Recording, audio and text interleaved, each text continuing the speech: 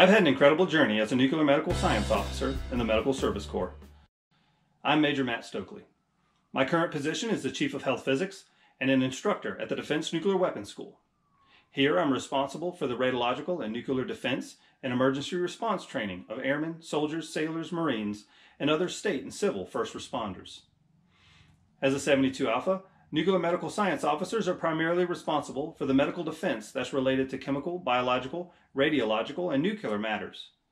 As an officer on the U.S. Army healthcare team, you'll have the opportunity to enhance your skills while working in areas that support our national defense. You're assigned to various Army medical centers, as well as military and defense agencies like the Department of Homeland Security, the Pentagon, the Office of Surgeon General, the Defense Threat Reduction Agency, and the U.S. Army Nuclear and Counter CWMD Agency. In those locations, you can serve as a radiological and nuclear health effects subject matter expert. You can be assigned across the continental United States or overseas in Hawaii, Germany, Korea, Japan, or in your local community in the Army Reserves.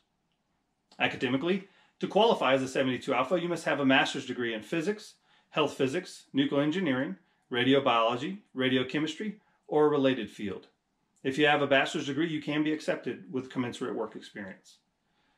And there are more educational opportunities available.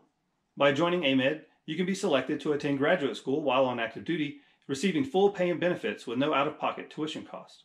Upon graduation, you incur an active duty service obligation of four years for a master's if needed, and five years for a PhD. In addition to academic training, AMEDD offers additional free training. These include medical, technical, operational, emergency response training, and this comes from joint and service specific training centers and national laboratories.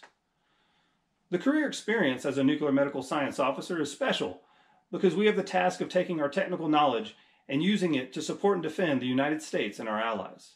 Through radiological and nuclear medical defense, you'll be giving amazing opportunities that are both challenging and extremely rewarding when completed.